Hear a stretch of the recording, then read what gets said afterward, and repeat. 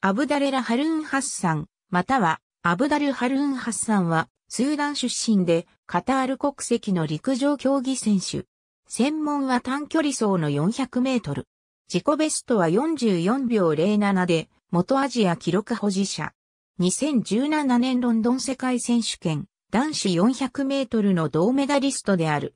2013年にカタールに移り住み、2015年2月2日にカタールの市民権を取得。2015年4月2日からカタール代表として競技することが可能になった。2014年に陸上競技を始め、400メートルの自己ベストを45秒74まで更新した。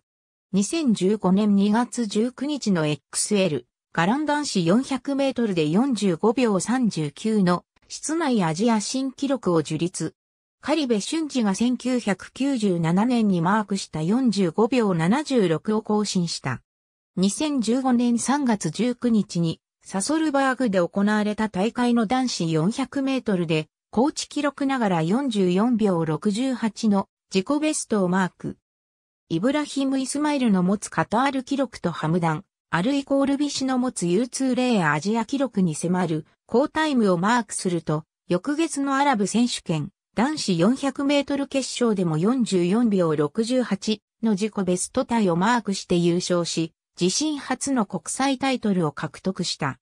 2015年6月のアジア選手権でアジアの大会に初出場を果たすと、4日の男子400メートル決勝で今季3度目の44秒68をマーク。大会3連覇がかかっていたアジア記録保持者のユセフ、マスラヒを抑えて優勝し、初のアジアチャンピオンに輝いた。アンカーを務めた7日の男子4 400メートルリレー決勝では3分02秒50の大会新記録を樹立しての優勝に貢献し、男子400メートルとの大会2冠を達成した。2015年7月5日のリシスプリント国際男子400メートルで44秒27のアジア新記録を樹立。ユセフ・マスラヒが2014年にマークした44秒43を更新するとともに、イブラヒム・イスマイルが2000年にマークした44秒66のカタール記録も更新した。また、これはスティーブ・ルイスに次ぐ U2 レー世界歴代2位の記録となった。2015年8月の北京世界選手権男子400メートルには今季世界ランク4位タイのメダル候補として出場予定だったが、怪我のため出場しなかった。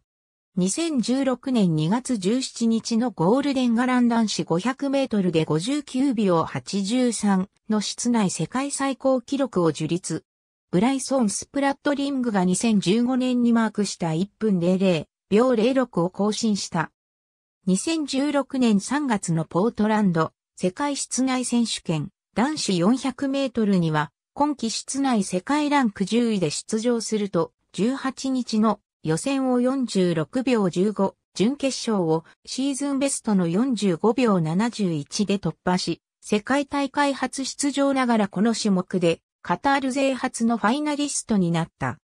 迎えた翌日の決勝では、ディフェンディングチャンピオンのパベル・マスラクに0秒15及ばなかったものの、準決勝の記録をさらに縮める45秒59をマークして銀メダルを獲得し、カタールにこの種目初のメダルをもたらした。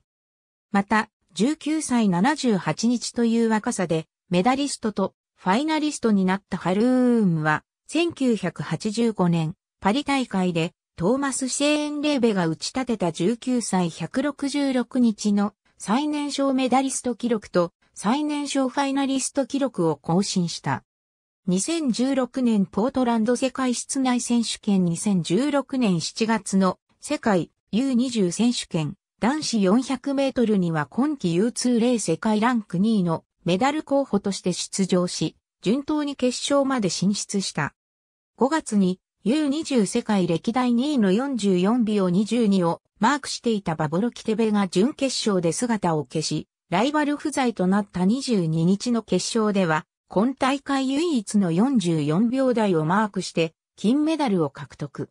初の世界タイトルを獲得するとともに、カタールにこの種目初のメダルをもたらした。2017年8月のロンドン世界選手権男子400メートルに出場を果たしたが、今季は怪我もあり、大会前のシーズンベストは44秒台に届かない45秒15だった。ところが、5日の予選をシーズンベストに迫る45秒27で突破すると、6日の準決勝ではシーズンベストを大幅に更新する44秒64をマーク。ホームストレートで怒涛の追い上げを見せ、着順で突破できる2着以内に入れなかったものの、タイムで拾われて決勝に進出した。迎えた8日の決勝では、ホームストレートに入った時点で7位、残り30メートル時点で6位だったが、そこから準決勝同様に怒涛の追い上げを見せ、シーズンベストをさらに縮める44秒48をマークして3位でフィニッシュ。ウェード・バンニーキルク、スティーブン・ガーディナーに次いで銅メダルを獲得し、400メートルではオリンピックも含めアジア勢初のメダリストになった。2018年3月のバーミンガム世界室内選手権男子400メートルでは金メダル候補だったが予選でフライングを犯し失格に終わった。なお、ハルーンがいた予選3組目は全員が失格になるという世界選手権初の珍事が起こった。2021年に延期された2020年東京オリンピックにも代表になるべく活動していたが、2021年6月26日、ドーハにて交通事故に愛死去したことがカタールオリンピック委員会によって発表された。24歳没。ヒーローはマイク・タイソン。備考欄の記録は当時のもの。ありがとうございます。